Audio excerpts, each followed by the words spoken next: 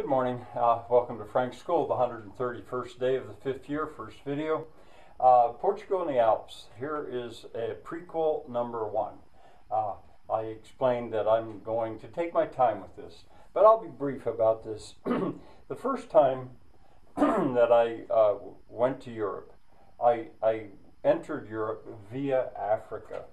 I rather think that my dear friend Wayne Frost did the same thing. I, I think the first time he was in Europe, I can't say it was the first time, but but but he was in, in Lisbon, and I uh, he was also in Africa. Well, in any case, it was in the year 1967.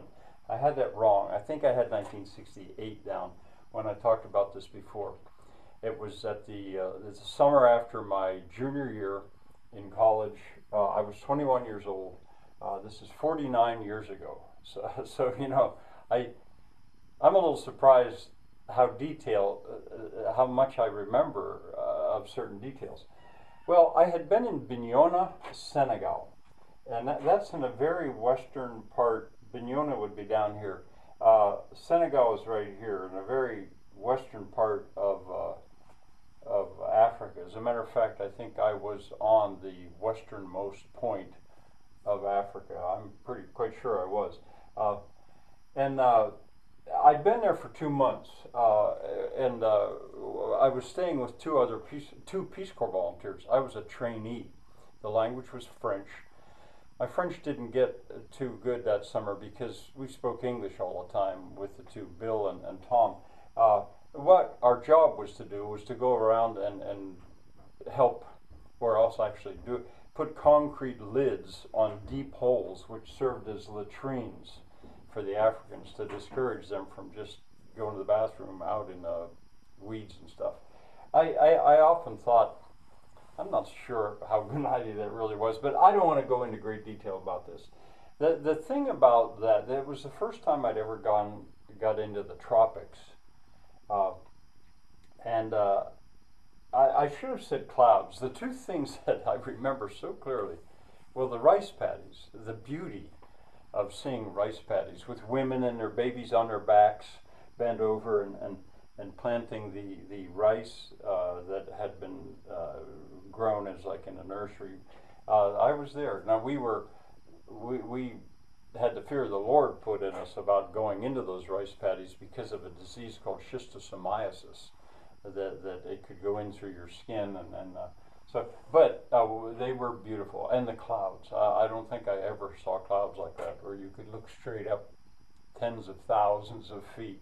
I think uh, that was the birthplace of of hurricanes. Uh, it was in the summer, you know, in a rainy season. That's the other thing too. It was it was the rainy season. There was a rainy season, dry season. Well, anyway, Casamance, uh, the, in the Casamance down here, that's where Bignona is in Senegal. At the end of that uh, summer, or at two months, I had a ticket back to Boston. Uh, and what we all basically did, I think we had about two weeks to get to Boston. And uh, we all sort of bent the ticket and, and routed it through Europe, at least most of us did. Anyway, I flew then to Morocco, uh, Casa, Casa, uh, Casablanca, and then uh, I just don't recall how I got to Rabat where I knew somebody. He was a foreign exchange student uh, briefly with my parents. His name was uh, Abdeltif Sekat, and he worked in the Banque du, Banque du Maroc uh, in, uh, in, in Rabat. Anyway, I, I found him, and, uh, and with him and his wife, we, we drove to see Fez, uh, the interior city of Fez.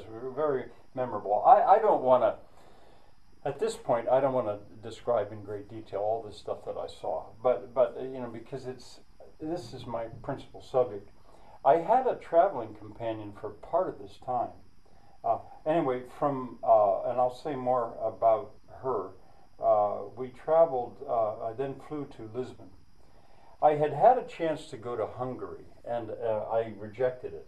There was a, a different woman, or may, no, it was a different woman, that uh, Peace Corps trainee that wanted to visit uh, relatives in Hungary, and and I often thought, boy, maybe I made a mistake. It, this was behind the Iron Curtain at the time. I don't know how easy it would have been to do it, but she'd invited me to go along, and I thought, boy, that would have been something to see. But I, I rejected it. anyway, we flew into Lisbon. Uh, in Lisbon, uh, and there was my first entry into Europe, my first time to Europe.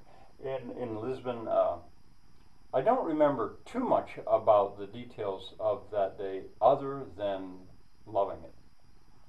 The, uh, I, I just thought Lisbon was a really cool city. I spoke no Portuguese, uh, and uh, uh, I think I might have gone to the zoo. Of course, uh, the Castelo de Saint Jorge, the, the St. George's Castle, I'm sure, yeah, well, I know, I remember that.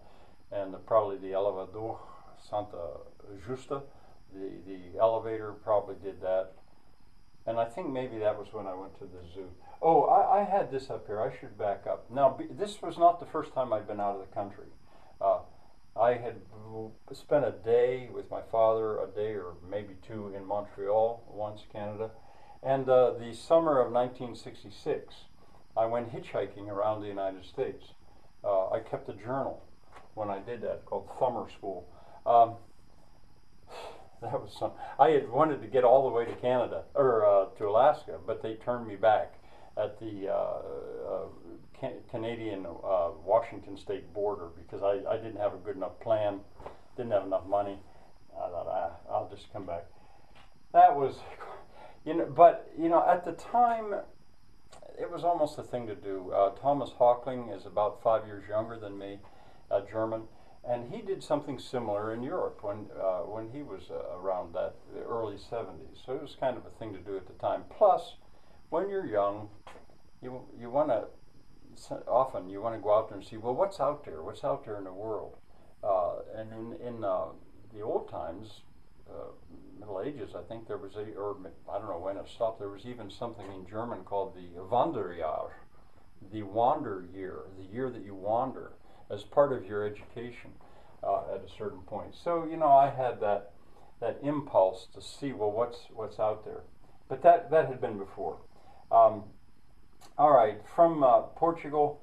Uh, from uh, from Lisbon, specifically Lisbon. I'm not even so sure we got out the Sintra Probably not. I probably did see the. Oh, I'm quite sure I saw the uh, uh, the gardens and the and the oh, uh, Saint Geronimo uh, convent in uh, convent monastery in Belém. But anyway, we flew to Madrid. Madrid, Madrid. Um, the only thing I remember clearly about Madrid was I went to the Prado, that, that real famous museum, and I liked it. I was impressed. From Madrid, we flew to uh, to uh, Paris. These were just stops, just like one day in each one. To Paris, we did not, and from Paris straight back to Boston. I'm, I'm quite sure we didn't go to, to London that time. Now, why I'm taking you, uh, I say Boston, but it was Cambridge. I was attending Harvard then. Um, why I'm telling you about this really is Portugal and the Alps. So what it really has to do, it's a little bit of background of my own travels. But that first time to Lisbon, speaking no English, uh, Portuguese, uh, I bonded with it.